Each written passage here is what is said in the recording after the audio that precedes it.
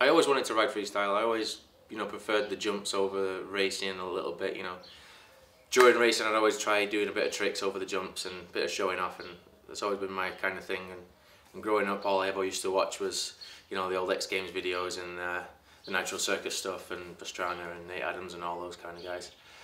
Um, over the years, I just got really tired of racing as well. You know, um, the people that come with it sometimes aren't the best. Uh, not so much fun anymore when it gets to a certain point.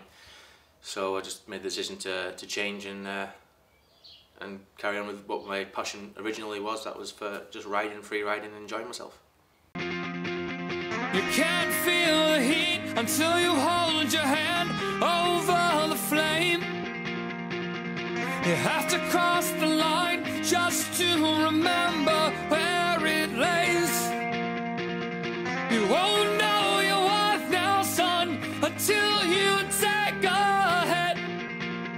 And you won't find the beat until you lose yourself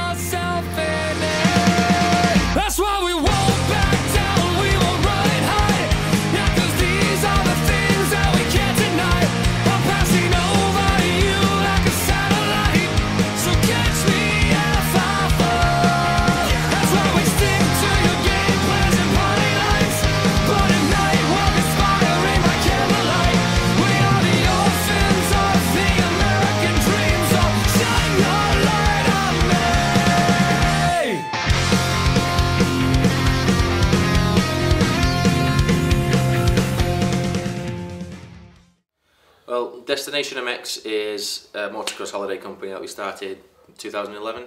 There was a big demand for people that wanted to come down here and ride in the sunshine through the winter because you know the, the weather's quite bad up north and whatever, and to not lose the pre-season training abilities, um, guys would come down here.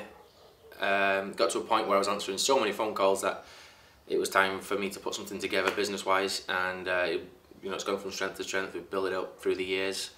Um, we've now got rental bikes, so you don't even have to bring your own bikes down here. You just fly down, ride on our bikes, and go home. Simple as that. Um, everything's quality about what what we do. You know, we have uh, four-star hotel, all the current model bikes, all the tracks are always great and prepared. It's we try our best to uh, to make it happen the way you'd want it, uh, the way I want it, especially.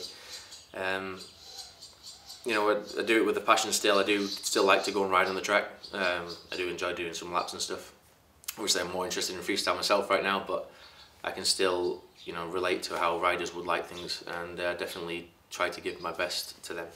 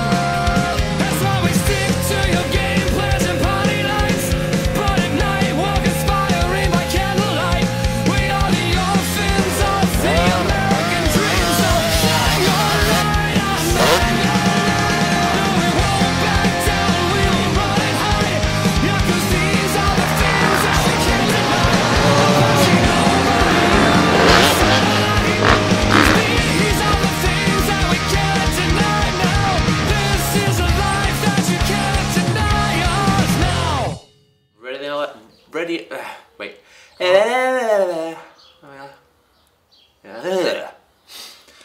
More ready than I'll ever be. I think. Hopefully. You have to take your phone away. Away. Away. I'm always on my phone. Yeah, It's important. I like it's all the girls. It's all the girls. Yeah. okay, you ready? yeah. Uh, yeah.